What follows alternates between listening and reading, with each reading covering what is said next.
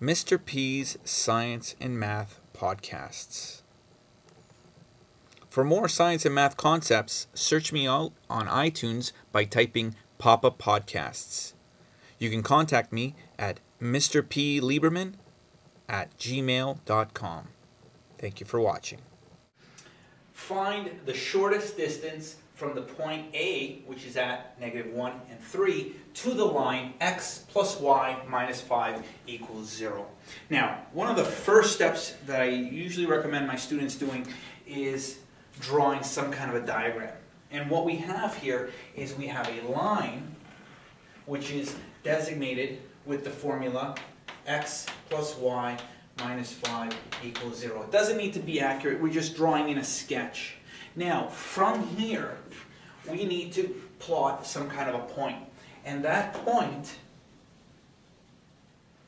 okay, will be just some random point, or point What we're trying to find is the length of this point, and but not just any length, but we're looking for the shortest distance from that point to that line. And whenever we have that, so here we have our sketch, and what we're trying to do is we're trying to recreate a new equation. So step number one is to find the slope of our new line. So we find the slope of our new line, but we need to figure out the slope of our original line. And one of the reasons for that is because if we think about the word shortest distance from any point to another line, we are looking at something that we call perpendicular. And the word perpendicular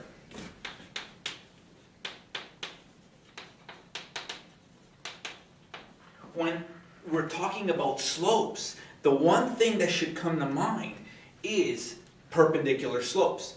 So we want to find out the slope of our original line. And then we want to find the slope of our shortest line. So my advice to my students is to rearrange your equation in the form where we can extract that slope. And what we do is we want our equation in the form of y is equal to mx plus b. When we write our equation in this format, we know that this m value represents our slope. So if we have the equation x plus y minus 5 equals 0, what we are trying to do is we want to isolate for y in our equation. We want to keep y on one side of the equal sign. We want to bring all the other terms to the other side of the equal sign. So we're going to keep this y. Here's our equal sign. We're going to be moving this x over. And notice how it's positive x. So if we bring it over to the other side, it becomes negative x. We're going to bring this negative 5 over the equal sign, and it becomes positive 5. So in other words, this equation that we started off with can now be rewritten. Instead of x plus y minus 5 equals 0, we can rewrite that as y is equal to negative x plus 5. Now, from this equation, we can extract our slope. And as we said, the slope of our original line is the value that is in front of x. And the value right now in front of x is really an imaginary negative 1. So the slope of this line is equal to negative 1. And in terms of perpendicular, whenever we have a perpendicular slope, so this line is going to have a slope that is perpendicular to this equation, to this original equation, what we started with. So to find the perpendicular slope, we know that we do something called a negative reciprocal.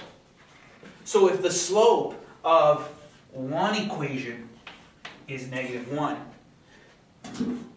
the reciprocal, and, and negative 1 really means negative 1 over 1, the reciprocal of negative 1 over 1 is 1 over negative 1. But we haven't yet implemented, we've just done the reciprocal. We have not implemented the negative. So this negative now added to here brings two negatives to create a positive 1 to being our slope. So the slope of our perpendicular line here is going to be positive 1. So now, what we know about this equation is, well, if we think about the terms here, y is equal to mx plus b, what we do know from this shortest point is the slope. And that slope is y is equal to 1x plus b. So the only other bit of information, remember there are two things that is common in every single line. One is the slope.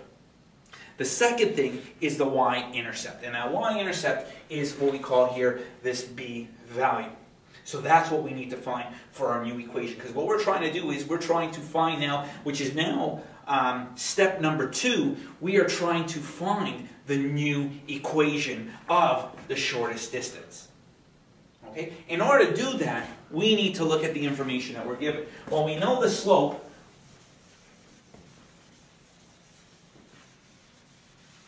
Okay. We know the slope of our new line is going to give us the equation y is equal to, let's say, 1x plus b. We need to find our b value. But now, what information about this line here, the shortest distance, do we know to help us solve or find out what the actual equation is? Well, if we look back at our question, all we know is that point A has a negative 1 and a 3. Here is our x, here is our y. And what we have here is, in any line, a line is really made up of a whole bunch of tiny little points. I like to, to think of it that way. I like to think of a line as really a whole bunch of points that are drawn so close together that gives you the impression of a line.